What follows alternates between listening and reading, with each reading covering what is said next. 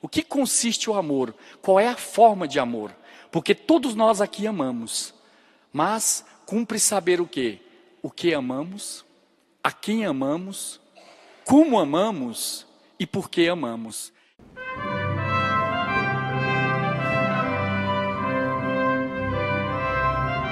E tal é um fato que São Santo Agostinho dizia.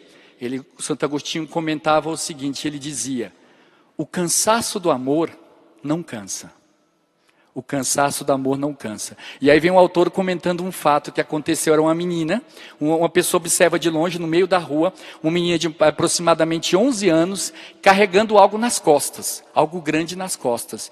E aí ela olha, essa pessoa pergunta, quando vê mais próximo, era uma menina carregando seu irmão, que era paralítico, nas costas. Ela viu ele carregando e chegou para ela, o menino já com certo tamanho, já grande, carregando a menina carregando o menino nas costas. E aí ele pergunta: "Mas você não está cansada? Não está pesando?" Aí ela respondeu: "Senhor, não está pesando. Ele é meu irmão." Por quê? Porque irmão não pesa. Está entendendo? Não é um peso para a pessoa. Então, quando a gente começa a sentir um peso naquilo que faz, começa a sentir o quê? Impaciência, é um sinal de quê? De um problema anterior. A impaciência, graças a Deus, não é um problema que ninguém passa aqui, mas certamente já ouviram falar que no mundo está faltando muito o quê? Paciência. Quando começar a sentir paciência, ou melhor, impaciência, preste atenção num ponto. Está diminuindo o seu amor.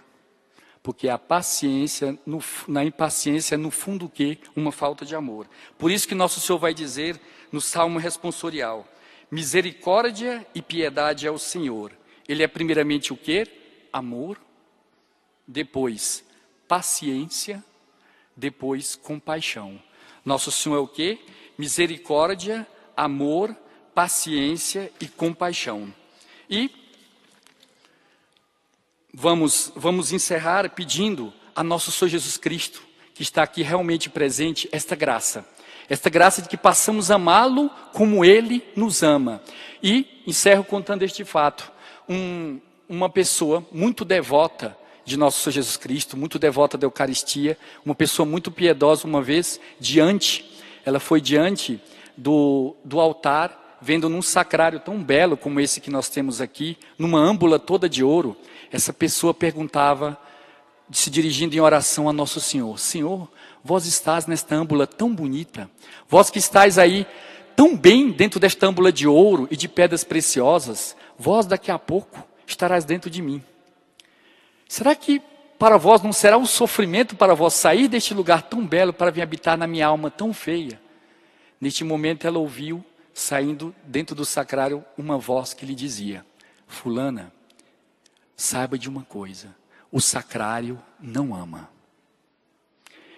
Saiba que o sacrário não ama, ou seja, o que eu estou atrás mesmo é de vosso amor. Estou atrás de, de, de que mesmo? De vosso coração, de vossa dedicação. Então, que neste momento, agora, que nós vamos encerrar, peçamos a nosso Senhor Jesus Cristo essa graça, de ter para Ele um amor incondicional, um amor a, de tal modo grande que nós possamos o que estar dispostos a entregarmos a nossa própria vida. Louvado seja nosso Senhor Jesus Cristo.